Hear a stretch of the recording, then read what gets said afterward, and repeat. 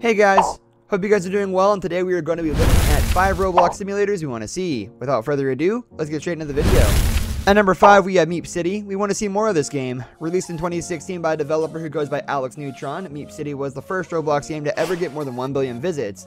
In this experience, you can play with millions of other Meep City visitors and chat, enjoy different games, earn coins, or customize your estate. To this day, Roblox says Alex still plays Meep City because he believes it is super important to understand the reasons people are into it. He even uses different accounts to get insights on first-time user experience and interact with everyone.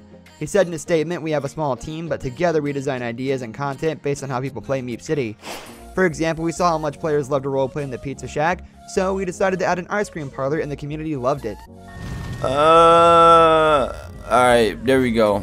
Yo, why does yo why does she look like that? Yo, son, there's no way. Okay, hold on. Let me actually be like this. Okay, there we go.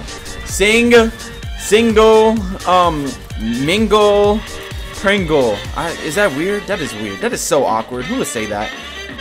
Pringle was at number 4, we have Adopt Me. Earlier this year, Adopt Me broke new ground, attracting hundreds of thousands of concurrent players when the game was updated with a new feature release, Adopting Pets. Just about any time you check in on this, you'll see over 100,000 users playing together, adopting pets, designing their own homes, exploring Adoption Island, and more. The creators Bethink and Newfissy have been playing on Roblox for many years, but a few years ago they started experimenting with game development. Adopt Me was a fast success, and the creators believe that encouraging adoption in the virtual world can have an impact on the real world. New pets to adopt with every new release, including turkeys in the Thanksgiving update and bees. The last one to find is just down the side of it. We're now heading over to the potion shop where we'll find one more. There it is. We'll come back for the eggs in the town centre in a bit. There's one on this wooden pier. And we're now going over to the campsite. There's only the one down here. And at number 3 we have Murder Mystery 2. Can you solve the mystery and survive each round? Nicholas, who came up with the intriguing experience, proved that you don't have to build massive games to garner millions of plays. At the beginning of each round you are assigned a role, innocents run and hide from the murderer, but also use their detective skills to expose the murderer. The sheriff works with the innocents as only they can take down the murderer. The murderer is just trying to eliminate everyone and not get shot by the sheriff. Prior to Murder Mystery, Nicholas had some games on the platform and some fun fan groups too, but he didn't expect the experience to become a success. He recalled in statement, I was testing the gameplay mechanics with a few friends, but they actually weren't that interested, so I set in a server by myself and posted the link on some of my group walls. I finally got one server full and decided to go to bed. When I woke up, there were thousands of people playing the game. So yeah, we should probably wrap this up. This song is me. This song is me. This song is so me right now. Ghost time. Yeah, you get over here.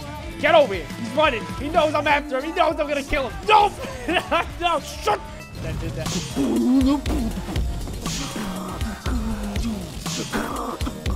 I live for that.